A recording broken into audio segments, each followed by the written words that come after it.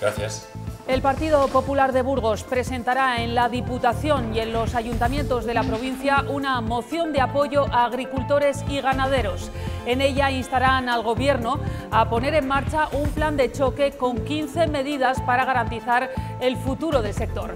El PP critica que en las medidas medioambientales de la PAC esté primando la posición del Ministerio de Transición Ecológica sobre el de Agricultura. El papel del gobierno autonómico está siendo especialmente importante. Gracias a una política de apoyo al sector eh, agroalimentario en nuestra comunidad autónoma, pero sobre todo porque todas esas medidas se han pactado con el sector. Saludos, buenas tardes. Hoy los tractores se encuentran en Madrid a la espera de que finalmente sea esta tarde cuando el ministro Planas reciba a los representantes de las organizaciones agrarias que exigen respuestas a su larga lista de reclamaciones. Hoy además en el Ayuntamiento de Burgos el equipo de gobierno ha anunciado el destino que quiere dar al mini ayuntamiento del barrio de Gamonal o al menos uno de los destinos quieren que albergue, entre otras actividades, un centro social para mayores donde puedan, por ejemplo, eh, jugar a las cartas. Esta era una petición muy demandada, ha dicho hoy Andrea Ballesteros, tras el cierre de los salones de las cajas de ahorros. Se están cerrando también otros usos sociales desde la propia Gerencia de Servicios Sociales para poder sacar el máximo partido a este espacio pero sí que queremos destacar que es el primero de muchos de los que queremos eh, que haya en la ciudad de Burgos. Los comerciantes y hosteleros de Lerma han promovido una recogida de firmas contra los planes del equipo de gobierno de prohibir los coches en la Plaza Mayor de la Villa Ducal. Insisten los empresarios en oponerse al plan del Partido Socialista, asegurando que supondría la quiebra del pueblo. Nos afecta muchísimo porque vivimos del turismo y la gente viene aquí, aparca, come y se va. Yo creo que sería una ruina en general para todo. Y ahora vamos a ver el Exceomo atribuido hace solo tres meses al pintor burgalés del siglo XVII, Mateo Cerezo. El cuadro es propiedad de una galería de Madrid y tras una exhaustiva restauración estará expuesto en la capilla de los condestables de la Catedral de Burgos hasta mediados de mayo. Destaca la fusión de referencias técnicas procedentes de Tiziano y Van Dyck. Mateo Cerezo fue un miembro destacado de la escuela madrileña del pleno eh, barroco. Vamos ahora con los deportes, adelantándoles, bueno, pues que Burgos y Mirandés siguen preparando sus próximos encuentros. En ambos casos se disputarán fuera de sus respectivos feudos. Los blanquinegros visitarán al Oviedo con los 19 futbolistas disponibles, mientras que a los rojillos les toca viajar hasta Barcelona. Los chicos de Alessio Lisi esperan aprovechar el mal momento del español para continuar acercándose a su gran objetivo, la permanencia en la categoría de plata en segunda. El objetivo nuestro es salvarnos y eso me, hacen, me transmiten desde, desde el primer momento en que llegué y creo que vamos todos a, a una para, para salvarnos y estoy seguro que lo vamos a conseguir. El frente que llega esta noche dejará chubascos débiles aún en la madrugada en el nordeste de la provincia, lluvias eso sí que desaparecerán según avance el, viernes y lo más destacado será la entrada de viento norte flojo que hará descender las temperaturas de forma notable, sobre todo en el norte de la provincia.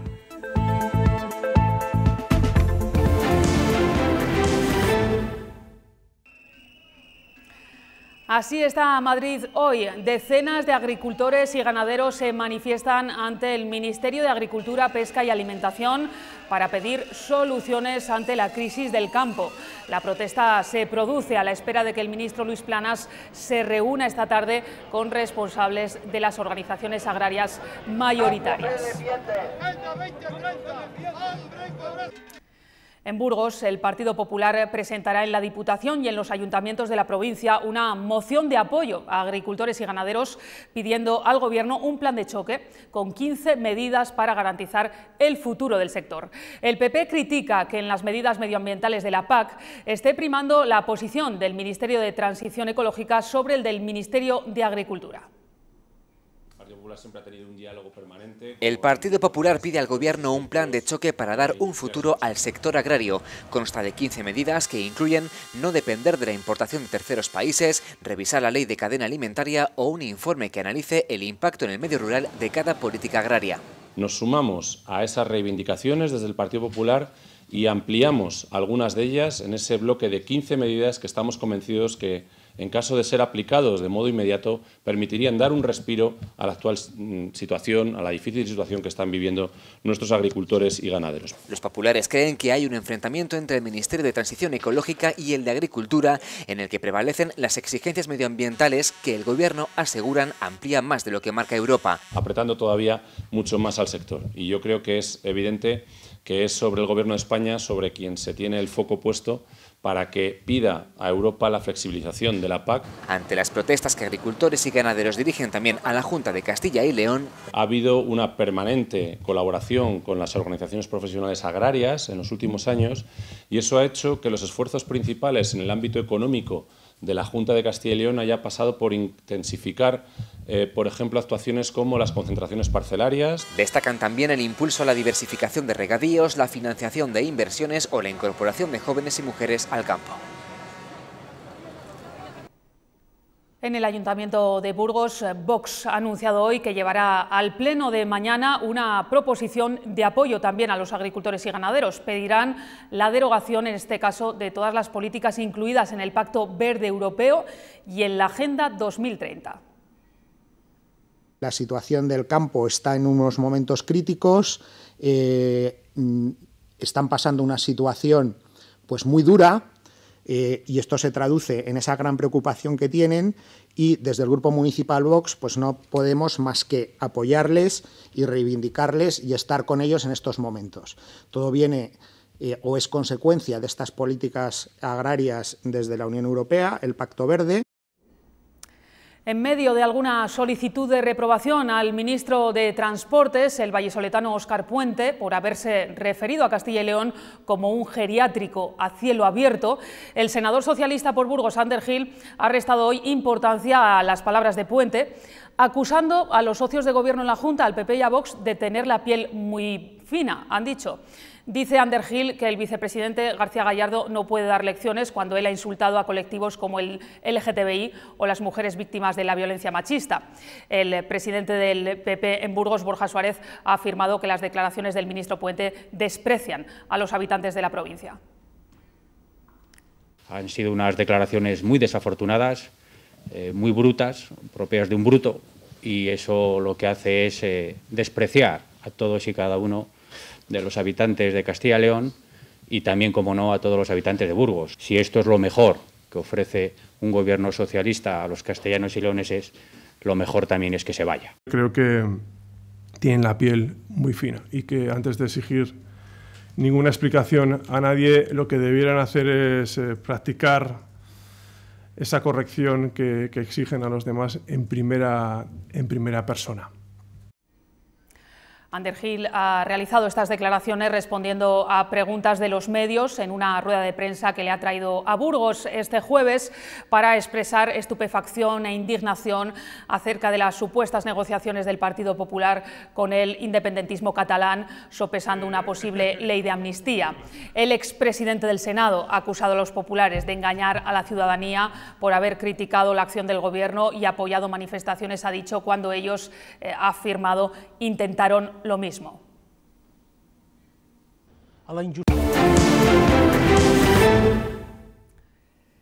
En el Ayuntamiento de Burgos, Partido Popular y Vox presentarán mañana en el Pleno una moción de urgencia para instar al Gobierno a cumplir con su compromiso de financiar con 2.400.000 euros el nuevo Mercado Norte, una proposición que han decidido presentar tras la respuesta dada por el Ejecutivo Central a los diputados populares confirmando que a día de hoy no se prevé partida en los presupuestos generales del Estado para el mercado burgalés y que las líneas de ayuda vinculadas a los fondos europeos ya han finalizado. Una respuesta que no ha sentado nada bien en el Ayuntamiento de la capital, que contaba con ese dinero para afrontar parte de la inversión del nuevo mercado de abastos de la Plaza de España.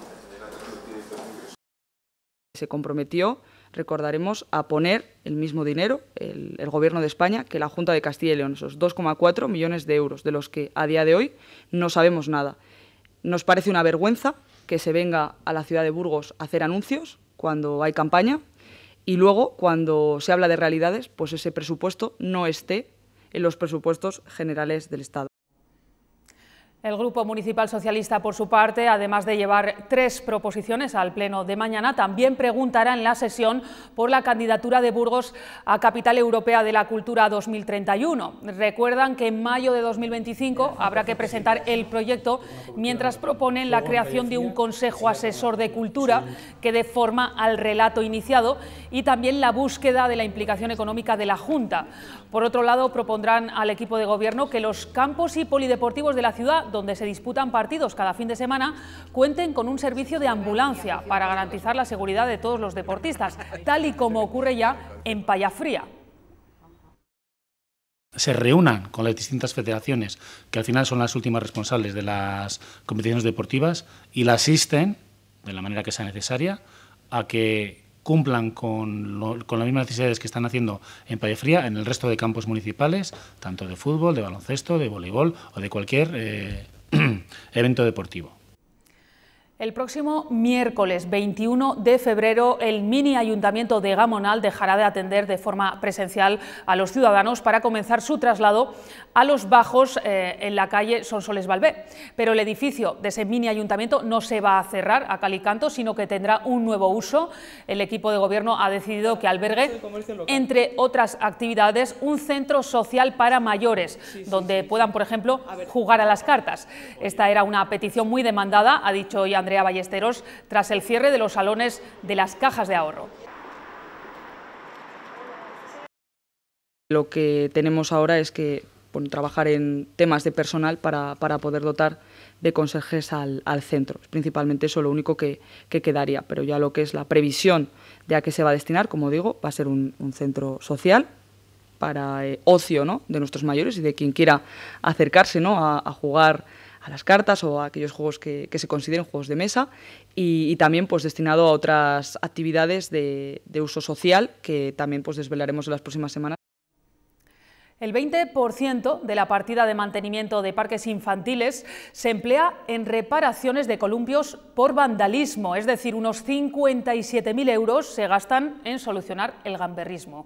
Así lo ha destacado hoy el concejal de Medio Ambiente, indicando que los columpios son elementos muy caros de reparar.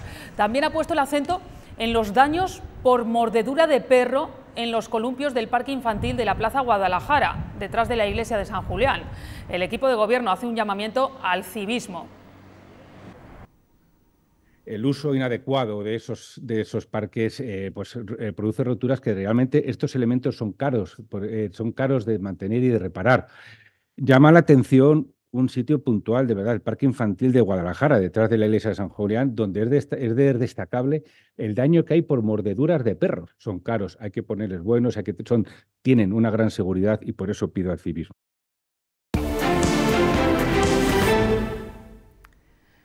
El presupuesto del Ayuntamiento de Aranda de Duero para este 2024 se va a aproximar a los 50 millones de euros. El equipo de gobierno lo ha presentado hoy en rueda de prensa explicando que han incluido los remanentes de tesorería del año pasado en unas cuentas que apostarán por la inversión en el mantenimiento de infraestructuras. Están previstos 2.270.000 euros para mejorar la urbanización de las calles de Aranda a los que se suma otro medio millón para el arreglo de aceras. Las instalaciones deportivas municipales recibirán 2.630.000 euros en mantenimiento y mejoras de accesibilidad. Otros 600.000 euros se destinarán a remozar las zonas verdes. También se darán los primeros pasos para el futuro campus universitario y para contar con más suelo industrial a través del desdoblamiento del polígono industrial de Prado Marina y el Puerto Seco se van a invertir 200.000 euros para la redacción de un proyecto para el desdoblamiento del polígono Prado Marina. Como es sabido, nuestra ciudad carece de suelo industrial de tamaño y características adecuadas para la instalación de grandes empresas. Tenemos un emplazamiento privilegiado, un emplazamiento geográfico privilegiado y sin embargo no tenemos suelo industrial nos vamos ahora a Lerma porque allí sigue creciendo el malestar entre los vecinos eh, de la villa y en particular entre los comerciantes por la intención de prohibir el estacionamiento de coches en el centro del pueblo eh, por parte del ayuntamiento.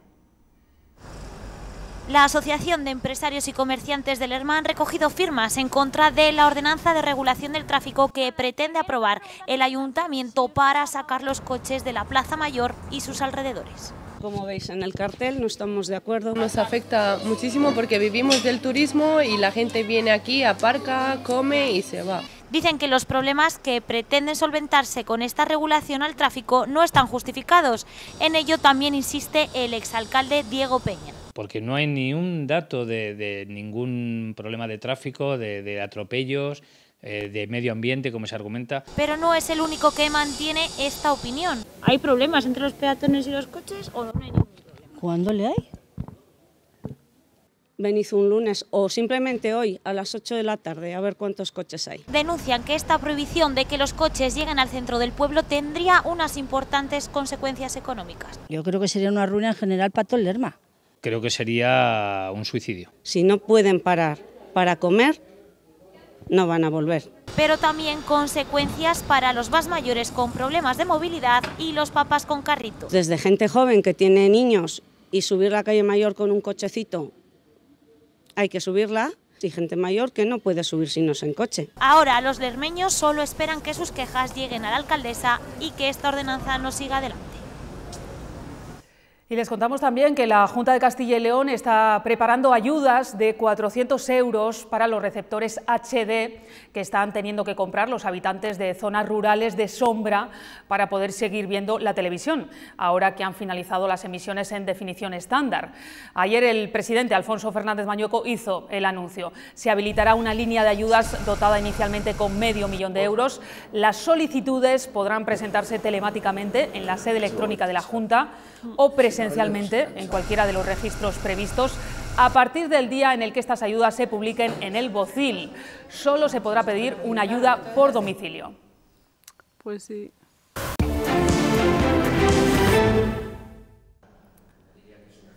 La capilla de los condestables de la Catedral de Burgos muestra hasta el 17 de mayo el Homo atribuido hace solo unos meses al pintor barroco burgalés Mateo Cerezo. La obra es propiedad de una galería de arte de Madrid que se la compró a un particular. Sus características hacían sospechar que su autor fue un miembro de la escuela madrileña de este periodo artístico y el pasado mes de noviembre el catedrático emérito de Historia del Arte de la Universidad de Sevilla confirmó que este óleo es obra del pintor del siglo XVII Mateo Cerezo tras una restauración permanecerá expuesto tres meses en la catedral bajo el nombre He aquí el hombre. Hay pinceladas que pocos pueden hacer de gran nivel. Aquí pues los ojos son evidentes que son de gran artista. Cuando preguntamos a don Enrique Valdivioso, que publicó y que tiene bastante más experiencia que nosotros, nos dijo que efectivamente era una obra de Cerezo una cosa que después de la restauración era una idea que teníamos, pero hay que trabajarla.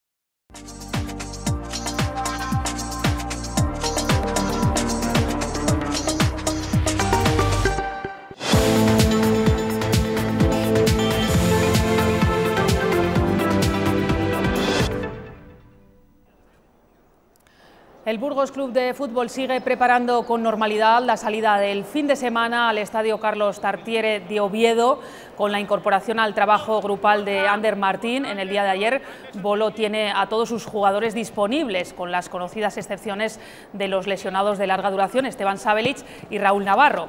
Recordar que el Real Oviedo está justo por detrás de los blanquinegros en la clasificación a solo un punto de distancia. Estas imágenes que estamos viendo corresponden al entrenamiento de esta mañana en Castañares. Hablamos ahora de balonmano porque el Ubu San Pablo se complicó sus opciones de ascenso directo el pasado fin de semana al perder el liderato de División de Honor Plata tras dos meses al frente de la tabla. El Ubu San Pablo cayó el sábado 29-26 en Alicante ante el Agustinos y de esta forma cedió el liderato de División de Honor Plata dos meses después de auparse a lo alto de la tabla. El equipo de Roy Sánchez se ha enfrentado a un calendario complicado en las últimas semanas y esto le ha llevado a un pequeño bache en el que solo ha ganado uno de sus últimos cuatro encuentros. Una dinámica negativa que ha aprovechado Guadalajara, que acumula 31 puntos para recuperar la posición de privilegio con dos puntos de renta sobre los cidianos.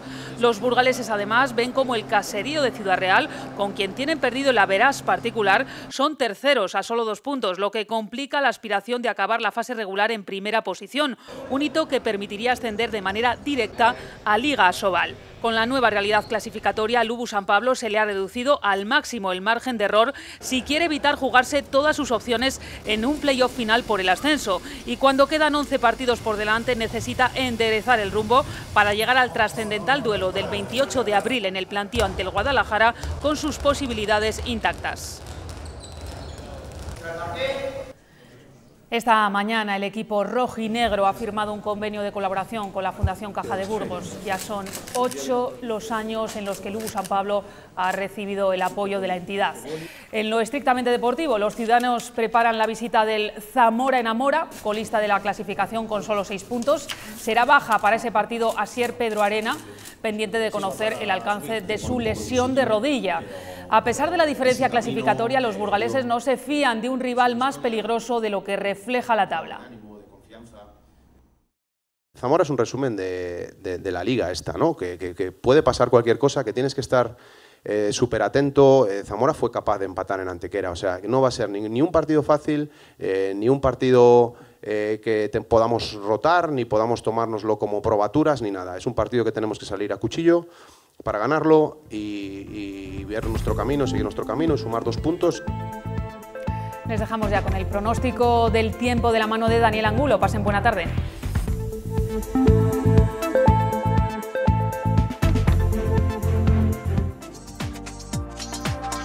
Clínica Dental por Domingo les ofrece este espacio.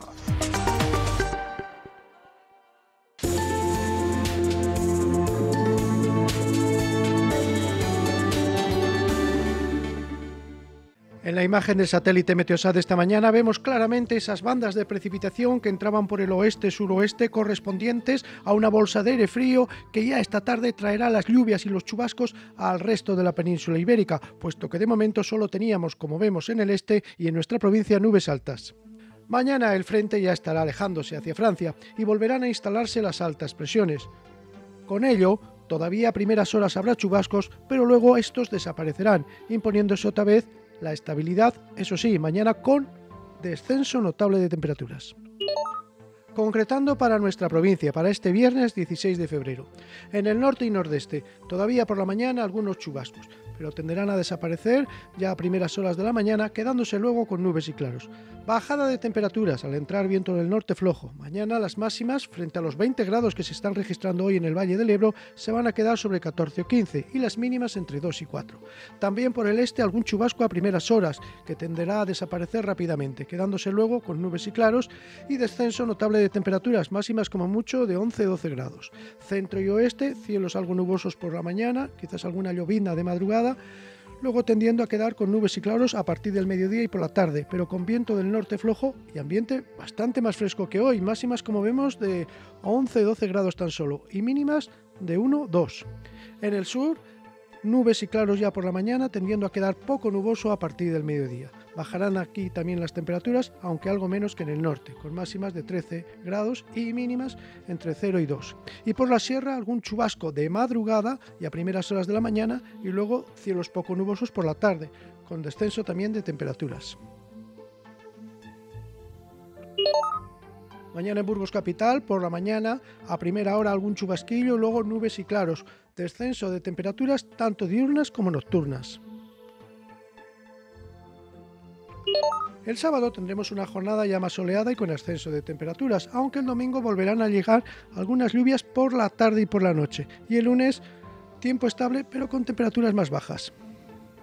Dice el refrán que por San Valentín, almendros en flor y mozos en amor. Lo primero al menos se está cumpliendo en algunas zonas de la provincia. En el sur, en el Valle de la Lanza, ya están floreciendo los almendros. Aquí vemos sus flores bajo un cielo de nubes altas.